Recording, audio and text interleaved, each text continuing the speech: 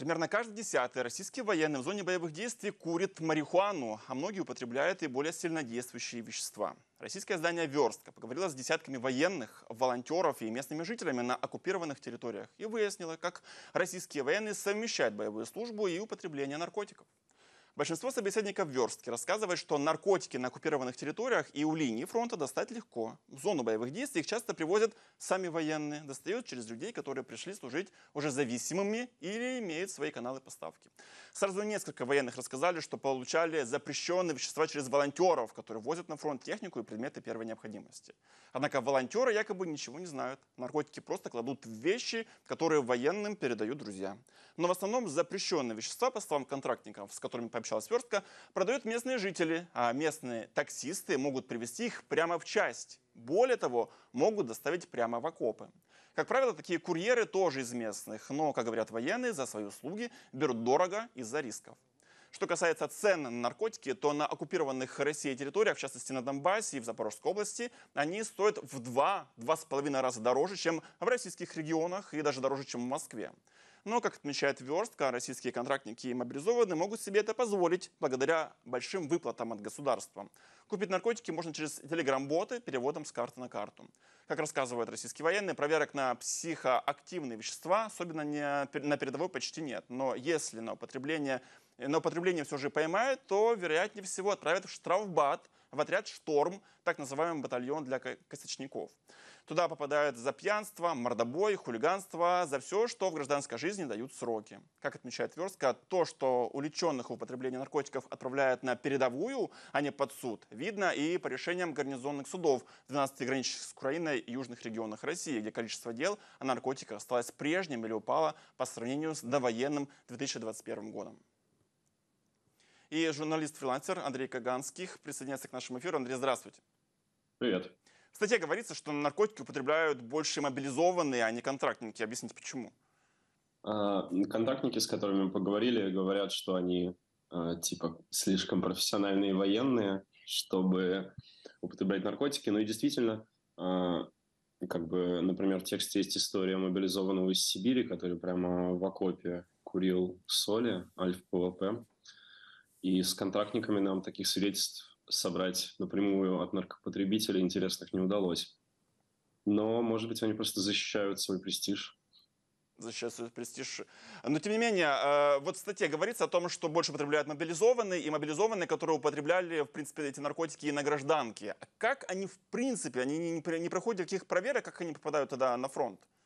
Да, совершенно верно. Во время мобилизации в России в прошлом году а, мобилизованных практически не проверяли наркотики, и из-за этого много наркопотребителей попали на фронт, где они продолжают потреблять наркотики, где они не изменяют своим привычкам, просто переплачивают за вещества. А, а проверки, там, они должны пройти какие-нибудь, знаю, медицинские там свидетельствования, не знаю, пройти там тот же военкомат, пройти там целую медкомиссию. Что там происходит? Никто этого не замечает? Ну, мы все видели в прошлом году, как проходят медкомиссии на частичной так называемой мобилизации, а потом, выражаясь э, цитатой героя из текста, с банкой и тестами, в смысле тестами на наркотики, за ленточку, то есть э, на, к линии фронта уже не проехать. Угу. Но, тем не менее, вот один из э, собеседников верстки, вот в этой статье говорится, что сообщил, что на фронте наркотики употребляют 10-15% в каждой дивизии. Вот, как по мне, количество там огромное. Есть ли объяснение, кроме того, что вот э, тех людей, которые там употребляли там и до фронта, для чего э, российские военные это делают? Тоже процитируя героя нашего собеседника, мобилизованного, молодого, а, он говорит, что главный драйвер употреблять наркотики – это скука, когда ты неделями, там, днями сидишь э, в окопе, ничего не делаешь, постреливают где-то, не знаешь, чем себя занять. И тут служивец привозит соли, и на фоне скуки даже риск сесть на измену, то есть словить э, от альфа-ПВП приступ э, паранойи, да, кажется уже не такой плохой судьбой по сравнению с этой смертной скукой. слишком скучно, поэтому употребляют наркотики. А вообще можно вот, вот это посчитать, э, там, э, как, как, какая, какая методология вот, узнать, э, сколько военных употребляют наркотики, какой процент? Слушай, ну мы, учитывая, что война как бы сейчас идет, самое глубокое, что мы могли сделать, это спрашивать оценки у военных, сколько они считают в армии и сколько они видят своих сослуживцев, принимают наркотики. Они, конечно, были с небольшим разбросом, но вот цифра, которую мы приводим в тексте, она верная. Но, к сожалению, нет никакого там знаю, форума в интернете, где военные отчитываются о том, какие они наркотики принимают или чего-то еще. Поэтому, к сожалению, мы сейчас э, каких-то конкретных расчетов, там, сколько солевых солдат в ВСРФ сделать не можем. Более того, в России в целом плохо обстоят дела с наркотической статистикой, с статистикой того, сколько людей употребляют наркотики, сколько людей от них зависимы, поэтому... Угу. Андрей, я правильно понимаю, что это в большинстве своем это не инъекционные наркотики, то есть не те, которые там нужно покупать шприц и колоться, а те, там, это наркотики, которые там в большинстве своем случае нюхают, не знаю, там курят? Все, что можно снюхать и практически все, что из синтетики можно скурить, можно и вколоть себе. Поэтому, но да, э, истории именно про инъекционное употребление мы собрали меньше, да и я могу представить, что как найти чистые шприцы не так-то просто. То есть, э, ну, не зря их раздают бесплатно наркозависимым в Москве и Питере, да, а, и в Украине в начале войны была большая проблема с доступностью чистых шприцов. Местное НКО трубили тревогу о том, что будет э, большой э, рост числа новых заражений ВИЧ из-за этого. Но в целом, да, можно просто из консервной банки или банки из-под пива или из пластиковых бутылок, как э, у нас вся Россия курит, что-нибудь смастерить и прямо в окопе водное опустить. Андрей, объясните, ну, если уж верить этим цифрам, 10-15% э, в каждой дивизии употребляют наркотики, большое количество, как по мне, э, военное начальство знает об употреблении наркотиков их подчиненных?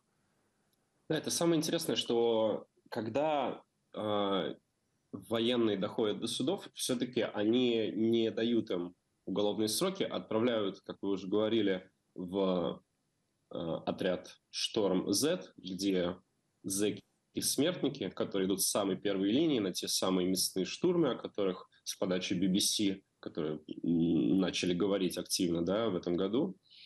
И получается, что буквально за употребление наркотиков российской армии отправляют в штрафбат, по сути, на верную смерть. Я правильно понимаю, то есть э, военное руководство может быть еще и заинтересовано в том, чтобы их подчиненные употребляли наркотики, их можно отправить в этот шторм и отправлять там самые опасные э, боевые действия? Ну, тут уже мы будем спекулировать, если будем говорить, но можно сказать другое, то, что в оккупированные территории, да, то есть э, в Херсонскую область, в Запорожье, в, на Донбасс – в, в прошлом году заехали, с одной стороны, у нас есть свидетельство, как в Херсоне люди в форме, а, цитата, начали ходить по местным барыгам и пытаться подмять под себя наркорынок. С другой стороны, мы видим какие-то изменения в интернете, как э, наркомагазы в Телеграме из ЛДНР начали бизнес там, в Запорожье, в той же Херсонской области, в Мариуполе, сразу после деоккупации, ой, ну, не деоккупации, простите, сразу после снятия блокады практически. И явно у нас, к сожалению, нет никаких э, прямо конкретных доказательств, но совершенно точно можно сказать, что все это не было бы возможно без каких-то договоренностей либо с солдатами, либо со спецслужбами.